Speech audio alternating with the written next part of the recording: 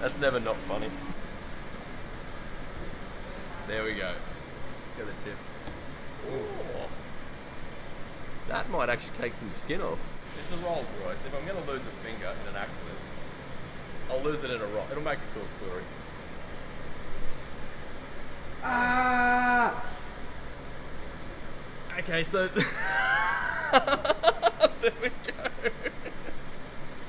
Don't stick your fingers in a window.